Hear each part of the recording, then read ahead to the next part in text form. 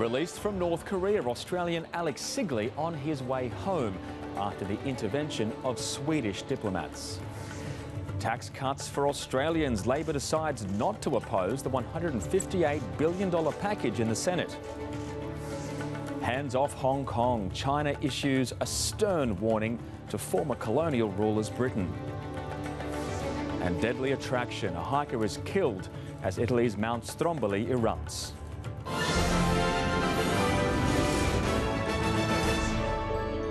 This is SBS World News with Darren Mara. Good evening. Australian student Alex Sigley has been released from detention in North Korea. Swedish government officials secured the release of the 29 year old who had been detained since last week. Safe at last. 29 year old Australian student Alex Sigley emerging at Beijing airport after being released from detention in North Korea. Um, I'm, I'm okay, I'm okay, yeah, yeah, I'm good. I'm very good. How do you feel? Great. He had lost contact with family members over a week ago, prompting fears the North Korean regime had detained him. But he declined to elaborate on what had happened to him. Could you explain what happened in Pyongyang? Uh, just leave it for a moment. Yeah. On arrival in Beijing, he departed for the Australian embassy. His release announced in Parliament. I'm sure we all could not be more pleased that we not only know where Alex is, but we know he is safe. This is indeed good news for Alex, his family, and indeed good news for our nation. His release comes after a vigorous diplomatic effort by the Swedish authorities, one of the few Western nations that maintains diplomatic relations with North Korea. On Monday, the Swedes sent a special envoy and delegation to Pyongyang, who lobbied on Australia's behalf for his release.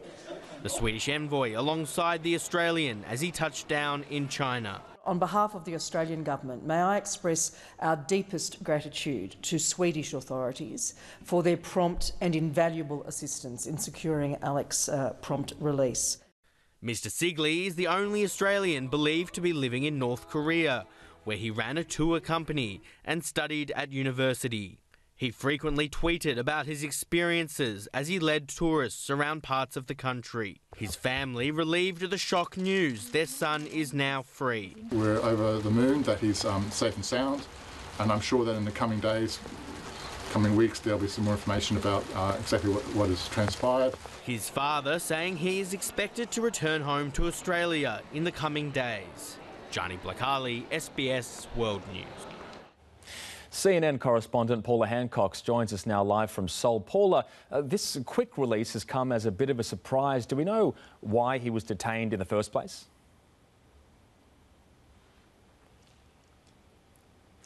Now, Darren, we've had no clarity on that at this point. We, we really don't know why uh, why North Korean authorities decided to detain him last week.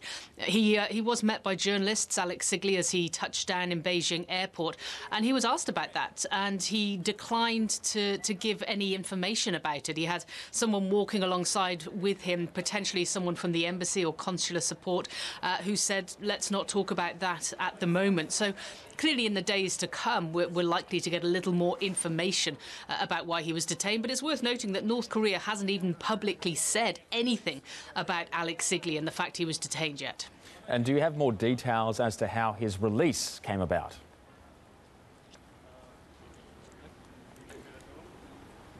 It was all down to, to the Swedish authorities, and we heard Prime Minister Morrison uh, saying that as well, saying that he has great appreciation for the Swedish envoy.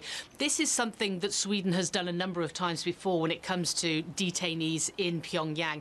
He's done it for the, they've done it for the United States because the US doesn't have diplomatic uh, connection in Pyongyang, uh, and they really have a lot of experience in trying to negotiate for the release of uh, of these detainees with the North Korean officials. Now, certainly this uh, episode has been resolved a lot quicker than uh, than many of pr- the previous detainees. But of course, we, we simply don't know why Alex Sigley was uh, was detained in the first place. He is well known to, to many North Korean uh, watchers. He, he tweets quite regularly about his experiences within the country. He's lived in Pyongyang since last year. Uh, he he founded a tour group as well, so he's been uh, taking tourists in for, for educational and cultural exchanges. So at this point, there really is a big question mark as to why someone like that, uh, with such close connections to North Korea, would have been detained by authorities. Darren. Okay, thank you, Paula. Paula Hancock's there from Seoul. 10 million Australians are set to receive a tax cut with the government's multi billion dollar economic plan expected to pass the Senate. Labor's pulling its opposition after four key crossbenchers shifted their support to the coalition. It was a budget and tax plan Scott Morrison was banking on. Welcome to the year of the first budget surplus in 12 years, Mr Speaker. And having just lost an election opposing both, late this afternoon, Labor finally conceded defeat. We won't oppose the full package uh, if it comes to the Senate unamended because our highest priority is to make sure that Australians do receive that tax cut next week instead vowing to review stage three of the seven year, $158 billion plan at the next election. All sides of politics review, depending upon economic circumstances. Uh, we will do that. We'll put forward our own policies. Labor capitulating after Jackie Lambie confirmed she would back the government. I've got small businesses down there in sufferance. So, you know what, I'm not sitting around on this for another four or five weeks while we play argy bargy in return for action on Tasmania's multi million dollar social housing debt. My negotiation isn't with the media, okay. I'm on goodwill here. I'm quite sure there'll be a lot more detail on that in the next six or eight weeks.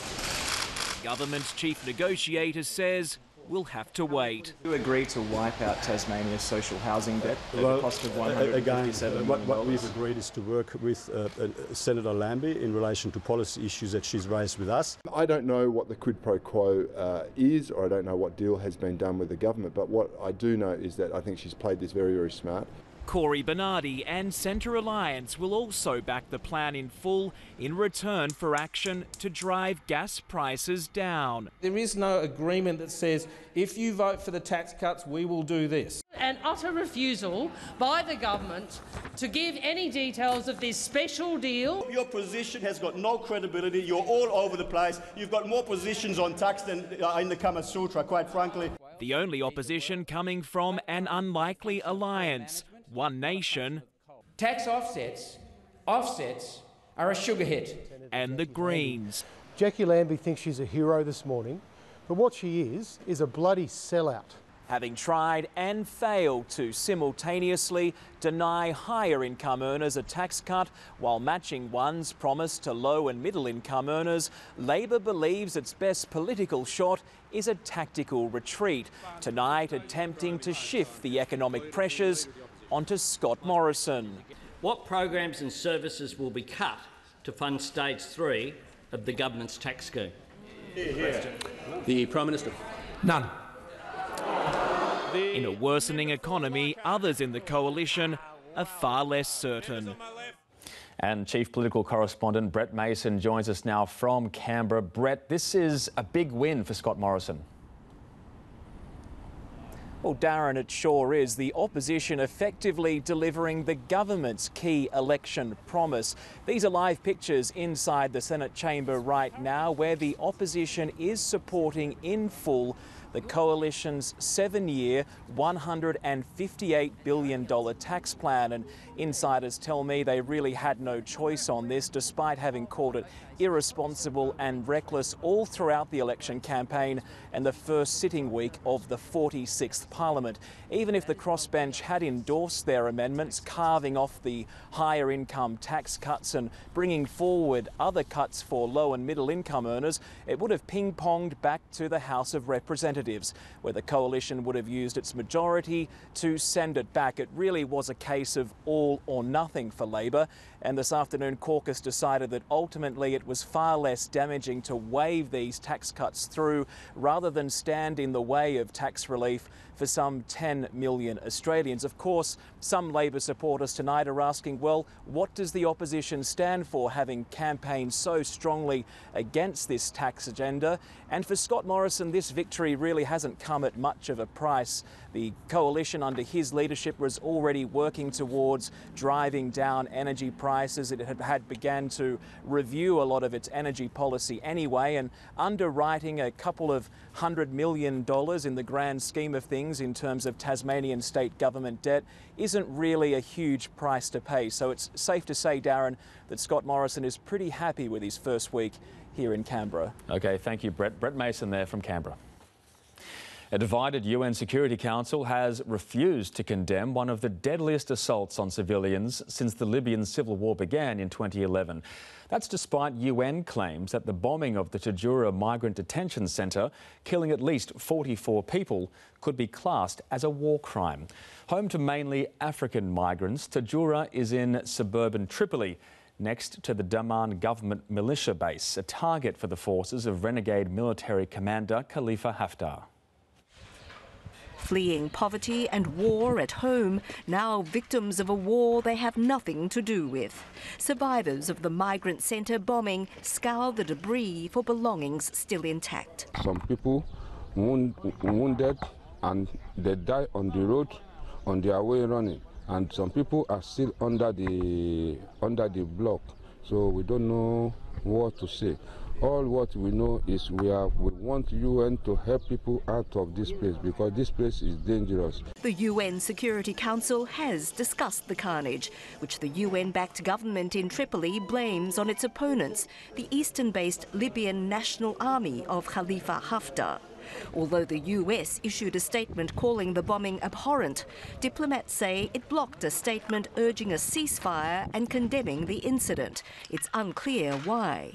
The UN human rights chief saying the attack could amount to a war crime. It is important to note that the United Nations had provided exact coordinates of the detention center to the parties. Despite that information and UN concerns about migrants in the firing line, it was the second strike there during recent fighting. This is a tragedy that was uh, very much preventable.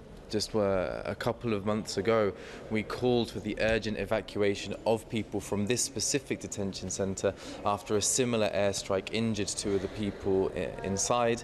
Uh, but sadly, no action was taken in that regard. Some LNA representatives said the nearby militia camp was targeted, but not the detention centre itself.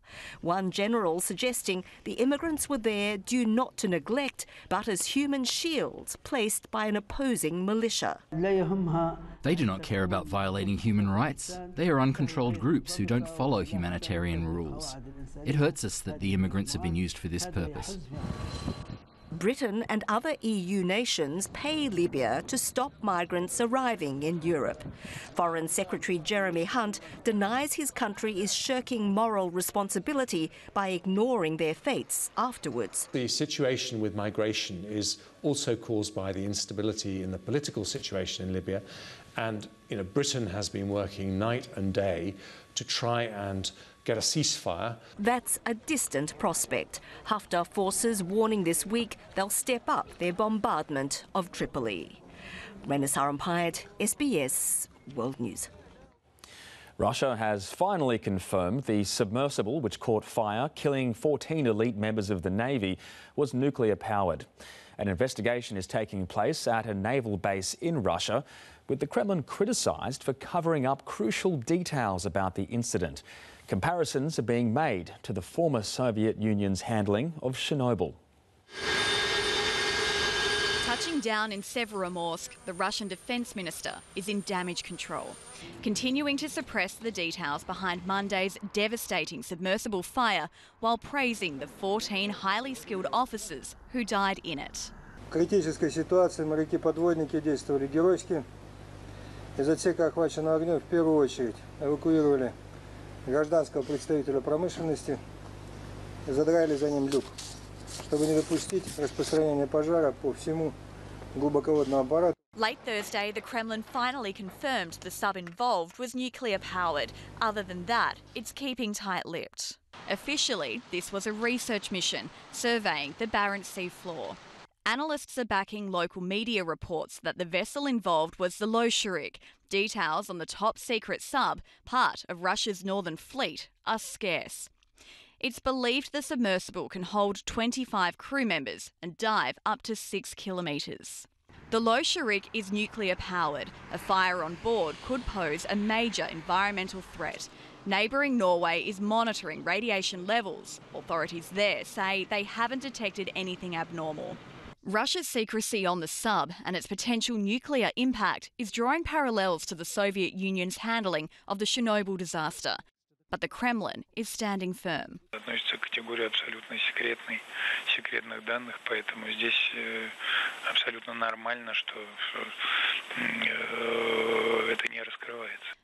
The Russian Defense Ministry has released the names and pictures of the victims. Among them were two recipients of Russia's highest honour, the Hero of the Russian Federation Award, the seniority of the crew adding to the intrigue.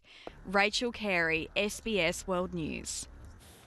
Tensions between the UK and China are rising after the two men vying to become the new British Prime Minister both expressed support for Hong Kong's protest movement. Beijing has described the comments as examples of faded colonialism. As the clean-up continues in Hong Kong's parliament, a diplomatic spat between the UK and Chinese authorities is getting messier.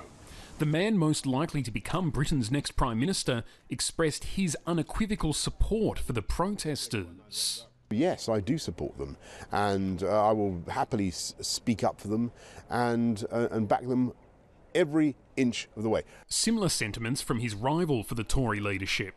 We urge the authorities not to use what happened as a pretext for repression, but rather to understand the root causes of what happened, which is a deep seated concern by people in Hong Kong that their basic freedoms are under attack.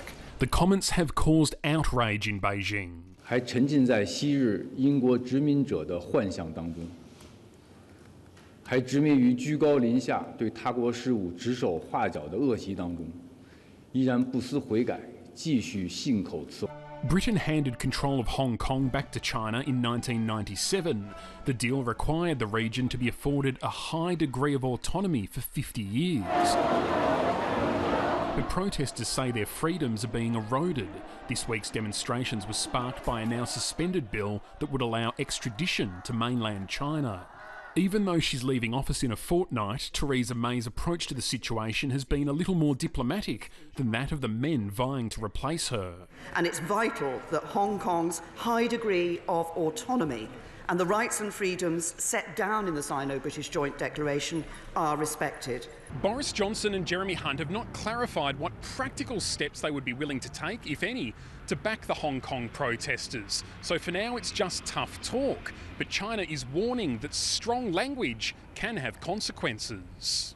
Uh, if British government go further, it will cause further damages. So that's why I'm calling the British government to reflect the consequences of its words and deeds. China's ambassador to the UK was later summoned to the Foreign Office and asked to tone down his rhetoric. In London, Ben Lewis, SBS World News. One person has died and dozens have been injured in a dramatic volcano eruption on the Italian island of Stromboli. The volcano was known to be active, but authorities say these explosions were particularly powerful, enveloping the island in ash and sending tourists fleeing from the popular tourist destination. The Navy has been deployed for a possible mass evacuation of the island as firefighters continue to battle small blazes, with 70 people already evacuated. Coming up next, actor John Jarratt tells the jury in his rape trial that it was the complainant who seduced him.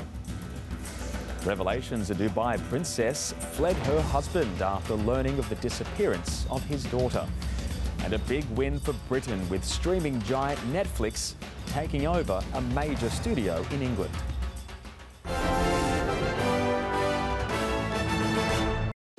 Tonight at 7.30 on the new SBS World Movies Channel 32, it's Brick Lane, the story of an arranged marriage in modern-day Britain. Here on SBS at 7:30, a double episode of the Great House Revival. I'm a real boy! Walt Disney's life and legacy is uncovered in this revealing two part series. There were no rules. You know, you're kind of free to do anything you want. It's like a dream. In the shorter cartoons, you get people to laugh. Walt Disney now is asking another question. Can you make people cry? Relive every magical moment. Walt Disney starts tomorrow 8:40 on SBS and on demand. At least John's family will be looked after with his life insurance. We need it too, but who should we go with? We need an insurer we can count on, so we should do one simple thing and get real life insurance. You're right.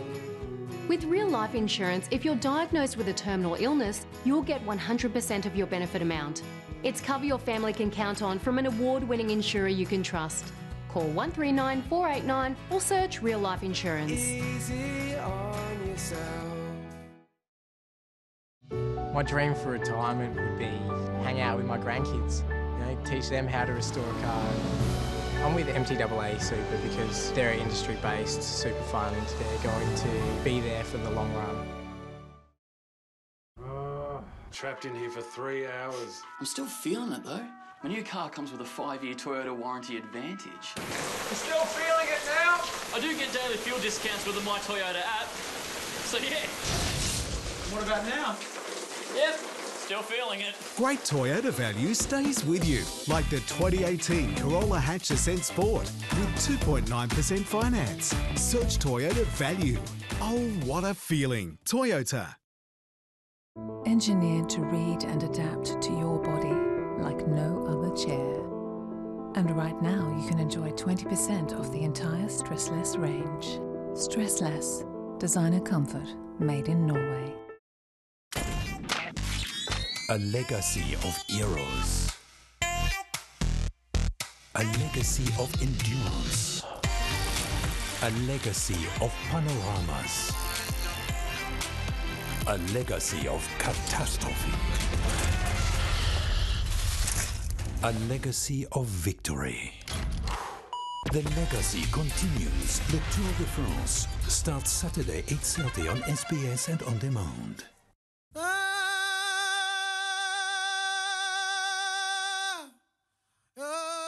In celebration of NAIDOC Week, SBS proudly brings you Gurrumul, Sunday, 8.35 on SBS and NITV.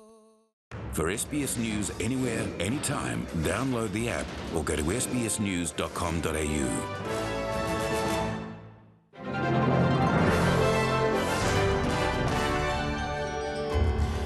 Foreign fighters seeking to return home to Australia could soon be banned from doing so for up to two years under proposed anti-terror laws. Home Affairs Minister Peter Dutton introduced the revised legislation to the lower house today, which would temporarily ban any citizen suspected of extremism.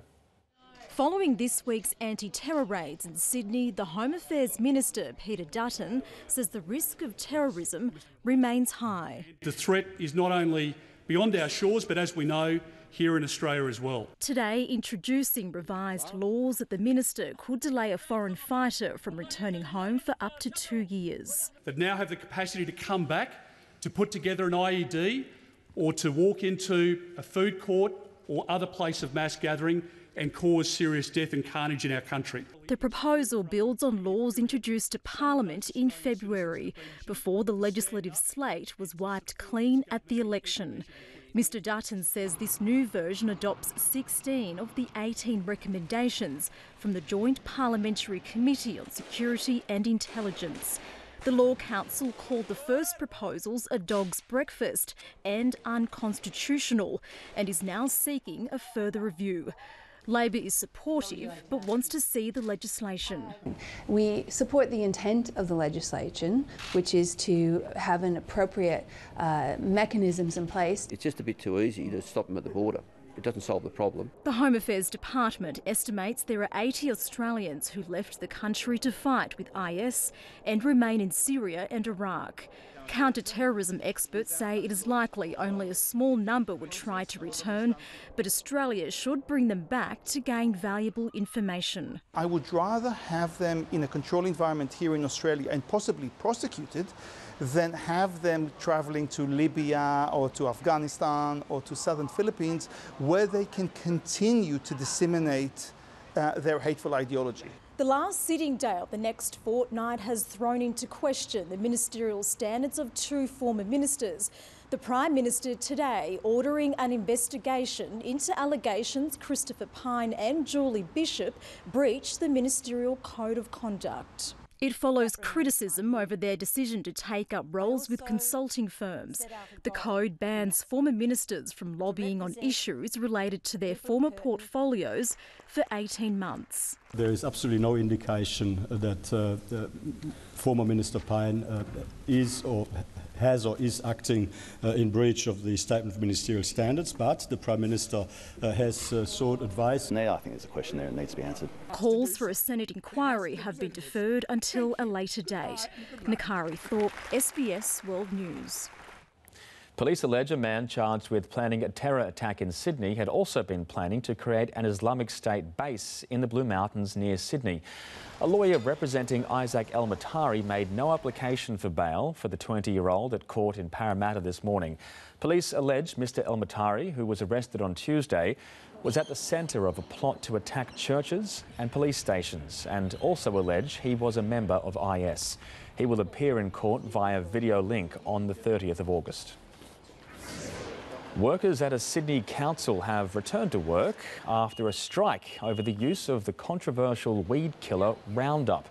More than 500 staff at Blacktown City Council walked off the job yesterday morning, leaving garbage bins uncollected and services disrupted.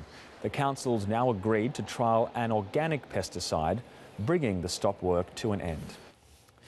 Actor John Jarratt has told a Sydney court today he was seduced into, cons into, consensual sex by a woman who has accused him of rape. The 66 year old has pleaded not guilty to the alleged rape in 1976. John Jarratt taking the stand today, telling the court it was the complainant who beckoned him into her room. She said she recognised me from picnic at Hanging Rock when we first met, and she found me attractive, he said. I feel it was a seduction, and I unfortunately participated in it. I willingly had sex, and she willingly had sex with me. It was consensual. Mr. Jarratt rejected earlier evidence from the complainant that he came into her room smelling of alcohol, pinned her down, and raped her. He said he had not been drinking and had driven home. I don't drink and drive, he told the court. Under cross examination by the Crown prosecutor, Mr. Jarratt agreed that he didn't use the word seduction in his police interview last year, but he denied deliberately changing his account of what happened that night. He also denied numerous questions from the prosecution about intricate details of the alleged rape. I didn't rape her, so what you are describing is a fantasy to me. The court also heard from actor Cassandra McGrath, a friend and colleague of Mr. Jarratt since 2004. She told the court she had played the woman who was tortured and murdered by Mr. Jarratt's character in the 2005 film Wolf Creek. He expressed to me his disgust and horror at that particular type of behaviour, referring to the actor's role. She said she trusted him completely. The jury is expected to retire to deliberate on a verdict tomorrow. Lynn Evelyn, SBS World News. Well, when Indigenous languages die, so do cultures. Now, a Native American community is fighting to save their language. It's part of a global push sponsored by the UN. That story shortly. As the US trade deficit soars, the Trump administration has revealed it's reviewing export license requests from US companies wanting to sell products to China's Huawei technologies. Huawei remains blacklisted in America, and any proposed trade would come with what the US is calling the highest national security scrutiny. The change in policy could affect Australia. Huawei, the Chinese telecoms company that American and Australian intelligence says presents a threat to national security. But the White House is battling a ballooning trade deficit and is now willing to let some US tech companies sell products to Huawei. We'll take another look at a number of the uh, export licenses. But only for lower tech products. That is to say, no national security sensitivities at all. Remember, Huawei remains on the entity list. Larry Kudlow says the most sensitive equipment, including Huawei's blisteringly fast 5G technologies, remain off limits. The US has accused Huawei of stealing American intellectual property and violating Iranian sanctions. But in a surprise about face at the G20 on Saturday, President Trump appeared to relax a total ban. We send and, and we sell to Huawei a tremendous amount of product that goes into the various things that they make. And I said that that's okay, that we will keep selling that product. Easing restrictions on Huawei was a key element of an agreement reached with China's President Xi Jinping to reopen stalled trade negotiations. The about face leaving Australia, which followed America's lead, in a tricky spot. But certainly the big implication for us is it shows us once again that the US president is capable of flipping on a dime and also that America as a whole is capable of cutting a deal with China, a deal in which Australia isn't involved in. So that's a concern for us. Other US allies, like the UK, did not issue a blanket ban on Huawei. Britain is allowing the company conditional access to its 5G rollout. Tech experts, though, say Australia is unlikely to follow suit. The Australian government already banned Huawei technology from the 5G network, and they did the same in 2012 when it came to the NBN as well. So I don't see that lifting anytime soon. The US and Australia fear Huawei products could be used to spy on people. But some analysts are suggesting the real reason for the crackdown is that Huawei is so far ahead of its competitors when it comes to 5G technology. Gary Cox, SBS World News. Six people have been killed after a tornado hit China. The tornado hit in Kaiyuan in northeast China, injuring 190 people and causing the evacuation of 1,600. Firefighters are still searching through the debris of buildings looking for trapped people. One million people have been ordered to evacuate in Japan after heavy rains hit the southern island of Kyushu. One person has been killed and another is missing after the rain caused massive landslides. The government was criticised last year for its slow response when 200 people were killed in landslides on the island. 240 people have suffered suspected food poisoning at an event celebrating the 90th birthday of former Philippines First Lady Imelda Marcos. The people became sick after eating a breakfast of chicken stew with egg and rice at a sports centre in Manila. The incident cut short what was to be a day-long celebration. A judge in the US has been censured for his handling of a rape case involving two teenagers. Judge James Troiano said the 16 year old boy who had filmed and shared the incident with his friends should not be tried as an adult because he was from a good family and attended an excellent school. This New Jersey judge under fire tonight after declining the prosecutor's motion to try a 16 year old accused of sexually assaulting another teen as an adult last summer. The family court judge citing that the young man was an Eagle Scout who comes from a good family who put him into an excellent school where he was doing extremely well. This is absolutely an example of privilege playing out in the judicial system. The teen allegedly took video of the attack and shared it with friends, texting, When your first time having sex was rape. But Judge James Troiano, seen here on this website that rates judges, says he believes there's a distinction between a sexual assault and rape. He goes on to classify rape as generally two or more males involved, either at gunpoint or weapon.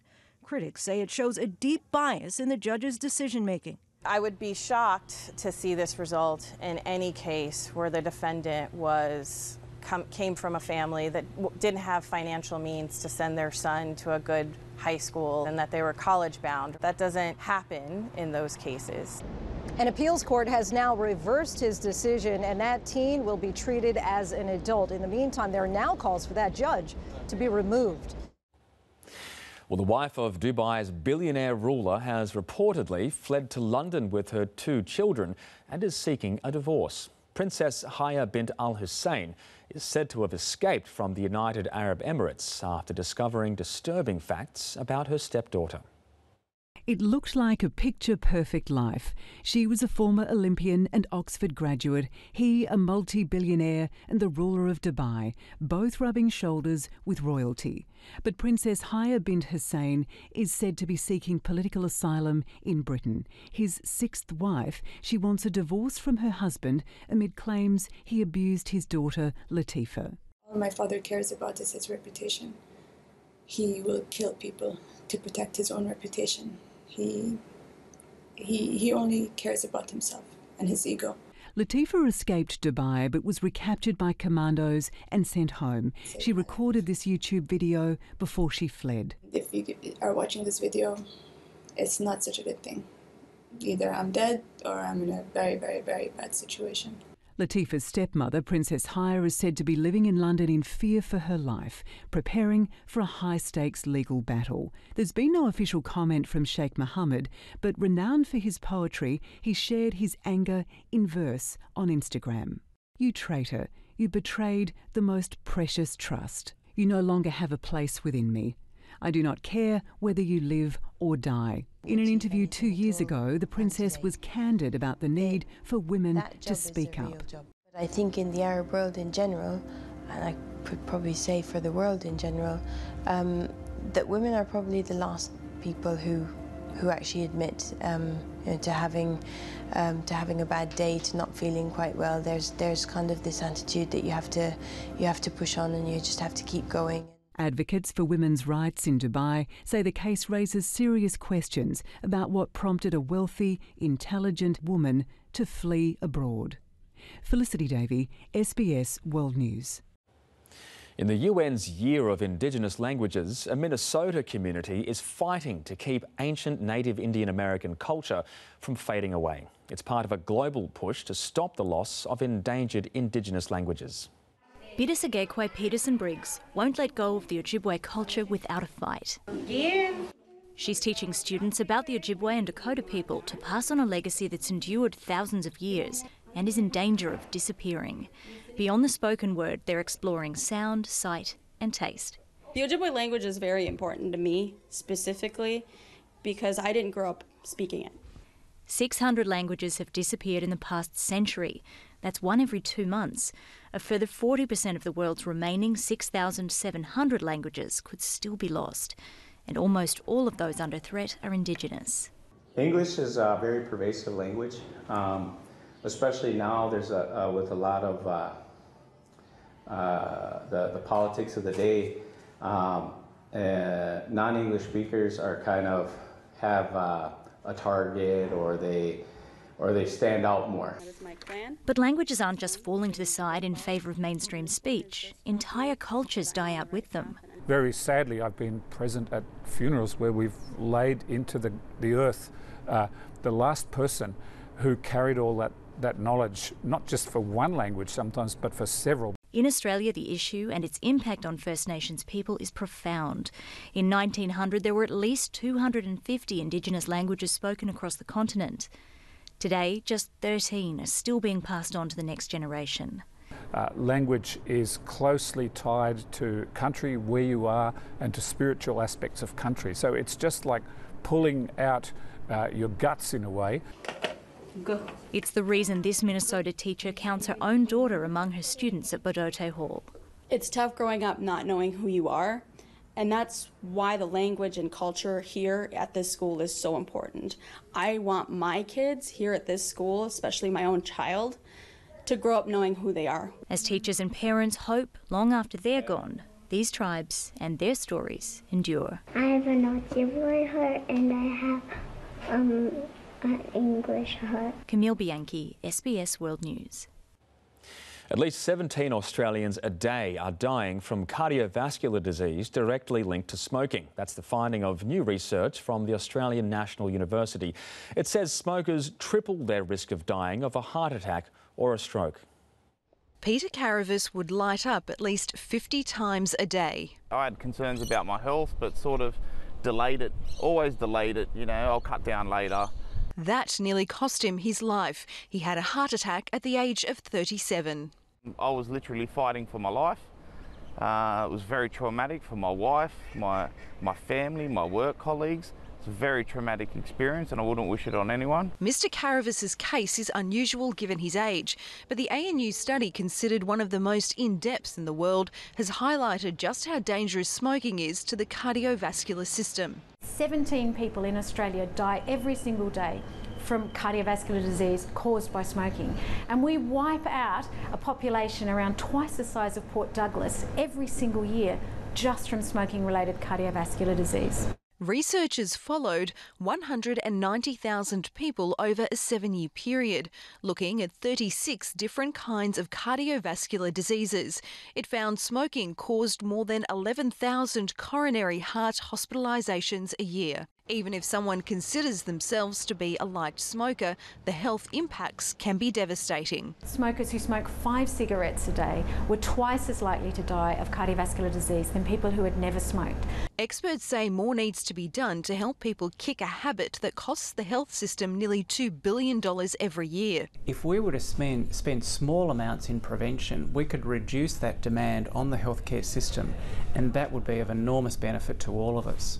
The Heart Foundation is also calling for the anti smoking campaigns of the past to be resurrected. What we are calling for is, is the reinstigation of those ads. We've got to make sure that the public, the community, see the dangers and are faced with those consequences each and every day. Quitting by the age of 45 could eliminate up to 90% of the risk, but the message from a reformed smoker is simple. Um, smoking is very dangerous, and if you don't find the time for it now and find the effort now, you will pay for it later. Gloria Kleisch, SBS World News.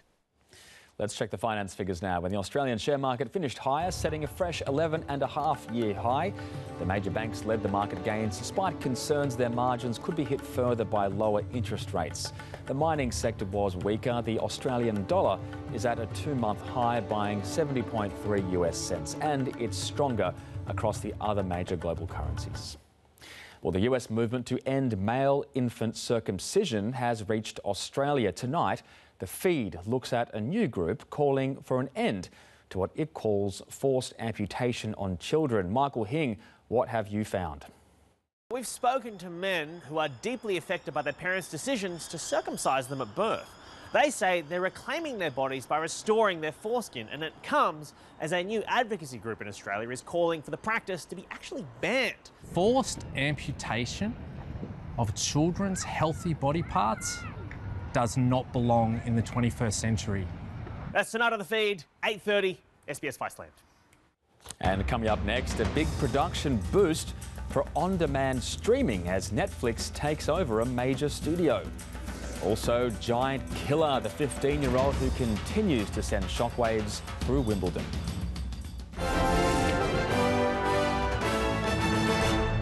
Who among them can be persuaded,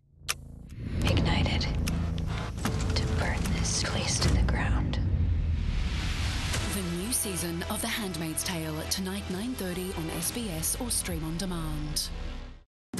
You have money powder. What more do you want? I want respect. Do you still love him? Loving Pablo. Sunday at 10 on SBS World Movies and On Demand. Celebrate NAIDOC Week with The Point, Noola Live, and NITV News from host city Canberra on Ngunnawal and Ngambri country. NAIDOC Week with NITV News and Current Affairs starts Monday, 7.15 on NITV. Hey, I was thinking, we still need to sort out our life insurance to protect Olivia. I know. And we just need an insurer we can trust. So we should do one simple thing and get real life insurance. Let's do it. Nothing's more important than your family's security. That's why hundreds of thousands of Australians trust Real Insurance. With real life insurance, your family would receive a cash payment up to $1 million. Call 139 239 or search Real Life Insurance.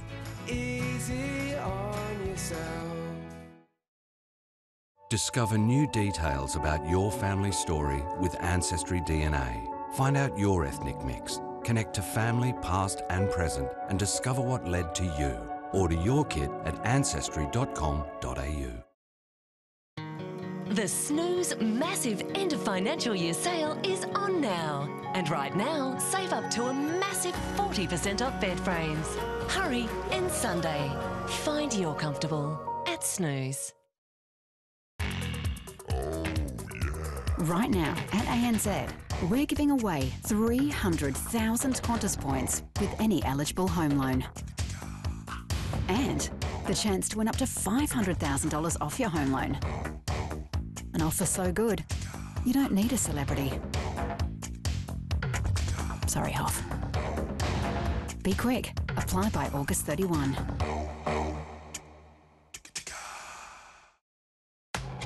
There's a world of stories available for free at SBS On Demand. Ready? Stream hundreds of TV shows, movies, and more on your smart TV, phone, tablet, or laptop. Did we mention it's free? Download the app or visit the website today. And you're now a member. Now streaming. SBS On Demand. A world of difference.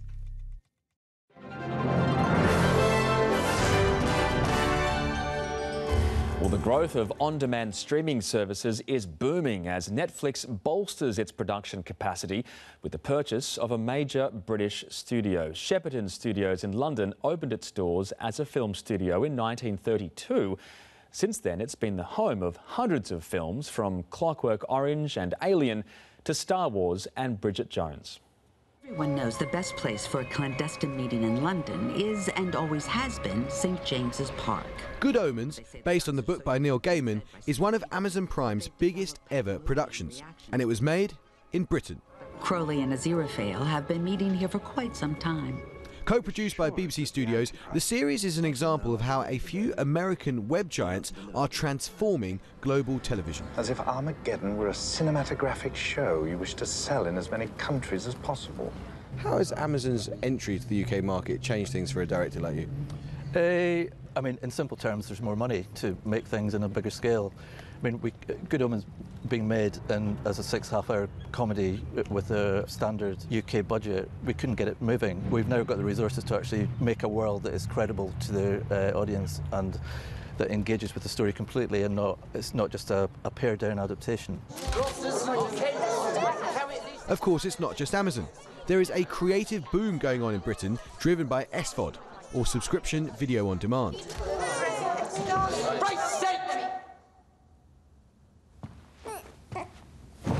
Take the photo. Over the past 10 years, there's been an exponential growth in the value of the film and TV industry in the UK. And its growth has significantly outpaced that of the UK economy. TV today is marrying the best of the old with the best of the new. Shepperton Studios, owned by Pinewood, is where countless legendary movies were shot, and Netflix is moving in. They believe that by investing in local studio space and hiring local staff, they could neutralise concerns about American dominance of the industry. The new Netflix production hub will include 14 sound stages in a total of 435,000 square feet. No one in the history of film or television has caused so much disruption so quickly as Netflix. And the truth is, they're just getting started. The company is pivoting from an American distributor to a global production powerhouse deeply embedded in local economies. Rivals might grumble about the dominance of an overmighty Californian giant, but viewers aren't complaining. And anyway, that's showbiz. I mean, that's why we invest so heavily here. That's why our, our original production in, in, in the UK is so so big. This is about a 2.7 billion dollar business, right, for the television market in the UK that we hope to be a bigger and bigger part of. So our productions have generated about 25,000 jobs already. There's a revolution going on in Britain's creative industries, and this one will be televised. Sport now with Robert Grasso and some possible history in the making at the Women's World Cup. That's exactly right, Darren. Good evening, everyone. The Netherlands is aiming to become the first male or female Dutch side to lift football's greatest prize. It follows a solitary goal in extra time against Sweden in the semi final. The Netherlands booking a place in the decider against three time champions, the United States. Yesterday's dramatic win by the United States over England was a tough act to follow. But the Swedish Netherlands fans only cared about a place in the final. Stadios can't finish. The Swedes thought they had the breakthrough in the 56th minute, but once again Van Veenendaal was ready. And a touch off to the post. Great save there. When Shanice van Sanden broke clear in injury time, Netherlands almost snatched it. And it's deflected wide by Lindahl. But for the first time in Women's World Cup history, a semi final was decided in extra time. Breaks nicely, and the shot's in. Beautiful strike by Jackie Groenen. Dutch joy unconfined at reaching their first ever World Cup final, and they're not daunted to face the United States either. I've seen the games; they're a very good team, but it's a final. Who knows what can happen, right? Uh, we will do everything in our power to beat them. While the defending champions were again busy dismissing criticism of their goal celebrations this tournament. US star Megan Rapinoe defending teammate Alex Morgan and her tea-sipping gesture after knocking England out. The action sparking a number of memes and American Revolution references on social media. Wah, wah, wah. I mean, it's like we're at the World Cup. What do you want us to do? This is the biggest stage, the biggest moment. Um, I don't think anyone truly believes that we disrespect the game or disrespect our opponents. The stage set for a thriller in Lyon on Monday morning. John Baldock, SBS World News. And a reminder, you can view the World Cup final live, free and in HD right here on SBS. Join us from 12.30am on Monday morning when holders the United States take on the Netherlands. There's also live streaming on the World Game website and the app. To tennis and US teenager Corey Gauff's record-breaking run at Wimbledon has continued into the third round. In the men's draw, Australia's Alexei Popyrin's tournament came to an end. Swiss veteran Stan Wawrinka was stunned in five sets, while top seed Novak Djokovic progressed. Ash Barty is the last Australian in the women's singles draw after Ajla Tomljanovic crashed out. Seventh seed Simona Halep advanced, while 15-year-old Gauff extended her stay with a dominant performance. Corey Gauff stuns the tennis world every time she steps onto the Wimbledon grass. The 15 year old's latest act, a straight sets win over 2017 semi finalist Magdalena Rybarikova. The newest star shines. Gauff playing under the Court One roof and looking right at home. She backed up a first round win over idol Venus Williams with another impressive display.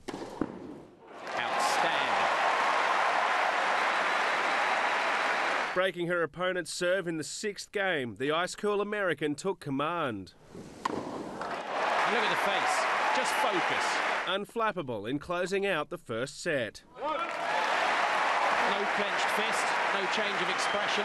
In the second, she continued to give her seasoned opponent a torrid time. The fairy tale continuing, the All England club in raptures.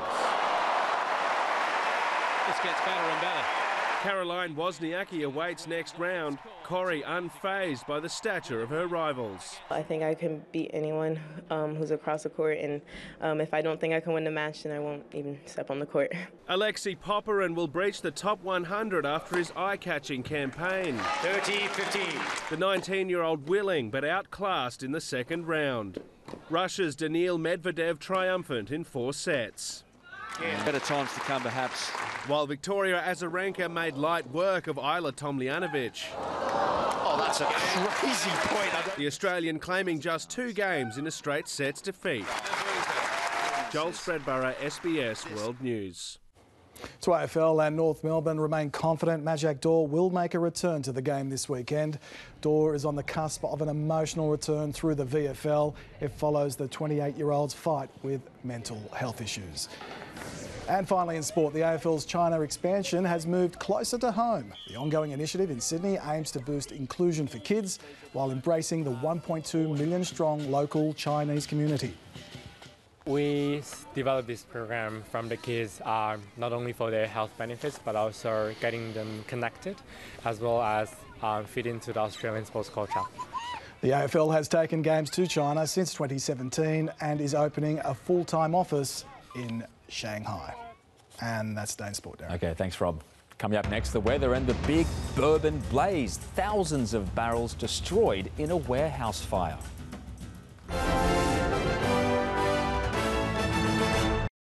Next on the new SBS World Movies Channel 32, it's Brick Lane, a story of an arranged marriage in modern day Britain. Next on SBS, a double episode of The Great House Revival. Was like looking at my twin. The ripple effect My birth mother was also my sister. of family secrets. I was raised white. My mother was Aboriginal. Single moment and everything changes. Insight now streaming on SBS On Demand. The leaves The Nick Scali Lounge Sale is on now. For a limited time, save up to 50% on a selection of lounges, floor stock, and discontinued lines. The Nick Scali Lounge Sale on now. Australia, we need to talk about turning up your toes, you know, pushing up daisies. And when you have gone to the other side, you want to make sure that your family won't be left with the cost of your funeral. So have a chat with Australian seniors and take out seniors' funeral insurance. You can get up to $15,000 of cover and they'll pay out your full cover amount or all your premiums, whichever's greater. So get on with enjoying life and stop thinking about going to your eternal rest. Call Australian Seniors now on 139 839 or visit seniors.com.au.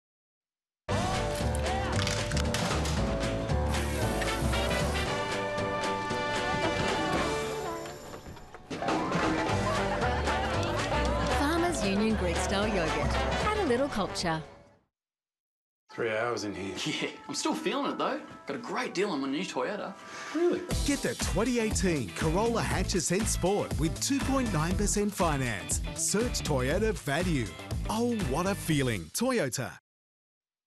It's time to get your expensive business insurance policy out of your system. Go straight to bizcover.com.au, Australia's small business insurance specialist, for multiple quotes from top insurers. There's no nasty paperwork. Simply compare and buy competitive cover online in minutes. Don't pay too much for your small business insurance. Head to bizcover.com.au to compare, insure, and save. The Nick Lounge Sale is on now. For a limited time, save up to 50% on a selection of lounges, floor stock, and discontinued lines. The Nick Lounge Sale on now. A legacy of heroes. A legacy of endurance. A legacy of panoramas. A legacy of catastrophe. A legacy of victory.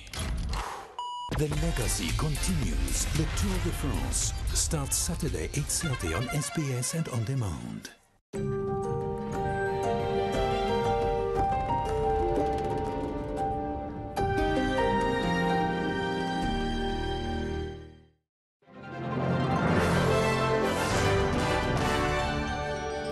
The weather now. A high pressure system near Tasmania extends a strong ridge over the rest of the continent, keeping it generally cloud free.